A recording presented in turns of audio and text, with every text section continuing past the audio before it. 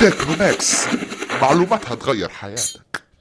أهلا بكم في قناتنا تكنو ماكس النهاردة هنتكلم عن تخصص صبار الجوافة صبار الجوافة اتسمى بالاسم ده عشان الورقة بتاعته تشبه شجرة الجوافة. النبات ده سهل جدا في التكاثر بتاعته ما بيحتاجش رعاية كبيرة.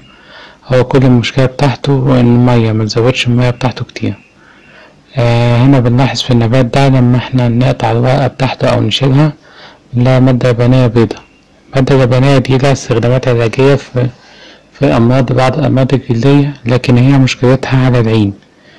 لو إحنا بنزرع النبات ده آه نحاول بقدر الإمكان نبعد النبات ده عن عينينا. لأن المادة اللبنية دي لو جت على عينينا هتسبب تعريق في العين ممكن يقعد أيام عشان يتعالج. فنلاحظ وإحنا بنشتغل إن المادة دي تبعد عن عينينا. لو عندنا أطفال نحذرهم آه إن هم ما يقربوش من النبات ده. لأن المادة اللبنية دي مادة آه شديدة شديدة الخطورة بالنسبة للعين. التكاثر بتاعه سهل جدا إن إحنا بناخد العلى الطرفية من النبات وسواء إن إحنا الجزء اللي إحنا قطعنا منه هتطلع فيه براعم كتيرة براعم تانية جديدة والجزء اللي إحنا خدناها هيبتدي يكون نبات جديد. فإحنا كده استفدنا استفادة من ناحيتين. يعني إحنا هنزود نمو خضري بالنبات اللي إحنا خدنا منه بعض وهناخد العلى نستفاد بيها بنبات جديد. هنشيل التربة الطينية زي ما أنتم شايفين. في ناس بتفضل إن هي تقطع الصبار ده وتسيبه ساعتين عشان المادة اللبنية دي تجف.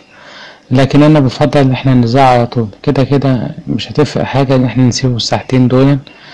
عشان المادة اللبنية تجف هي كده كده هتجف في التربة فهنحط العقل. أنا العقل دي أنا خدتها في ربيع فعشان كده مخفتش الأوراق من تحت.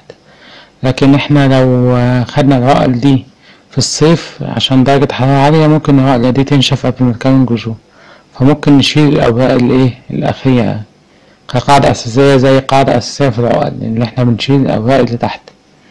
التسميد في في صبايا الجرافة بيكون مرة بالإن بي كي مرة كل واحدة مرة واحدة كل شهر. وما نزودش كمية مش معنى إن أنا بحط سماد كتير النبات كده هيستفاد. لأن السماد السماد ده مادة كيميائية. لو أنا زودتها تصبح مادة سام بدل ما هي مادة مغذية للنبات. زي ما أنتوا شايفين هو نبات سهل مفيهوش أي حاجة. امسك عقلة اقطعها زعها خلاص بقى أنا بقى عندك نبات جديد. ري في الأول بس هنروي كمية كبيرة ونخلي التربة متجفش فترة أولانية عشان نكون جذور. بعد كده ري عادي لا هو محتاج مية قليلة يعني. إحنا نقلل كمية الري مش نزودها. عشان ده نوع من الصبار هو مش محتاج مية كتير. النهاية.